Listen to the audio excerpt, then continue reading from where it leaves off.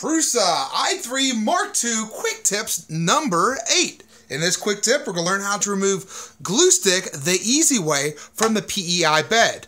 When printing thin wall parts like this model rocket fins, I always use glue stick to adhere thin wall parts down. This is an insurance policy.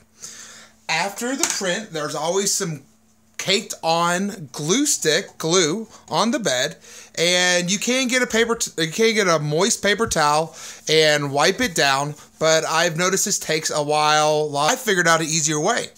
What i do is i'll go into the control panel i will go to settings temperature bed temperature and i'll raise the bed temperature up to 60 degrees. Can we do it uh, there we go. 60 degrees. Go back up to settings. Main menu. And you can see the bed is now heating up. The target temperature is 60 degrees. And we're at 36 right now. I will get this damp paper towel and I'll put it over the bed. Over all of the bed. Flatten it out. And I'll let it heat up.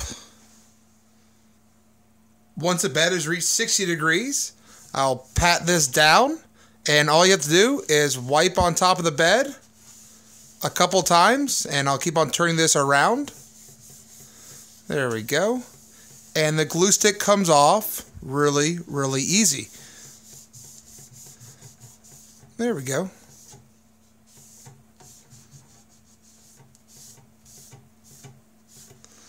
And because we have elevated the bed temperature, there's no need to get another paper towel and wipe down the bed.